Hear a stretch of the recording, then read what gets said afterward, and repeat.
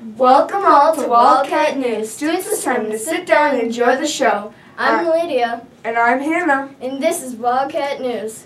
Today is the May Day. Sports. Girls basketball at West Middle School, 4 o'clock to 5 o'clock p.m.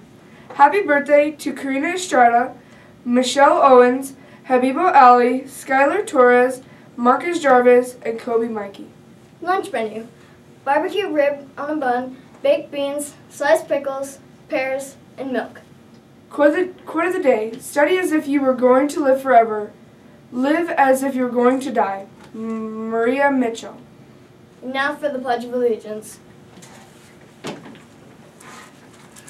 I Pledge allegiance to the flag of the United States of America and to the republic for which it stands, one nation, under God, indivisible, with liberty and justice for all.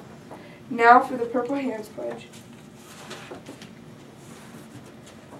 I will not use my hands and my words for hurting myself or others. Thank you and have a great day from Wildcat News.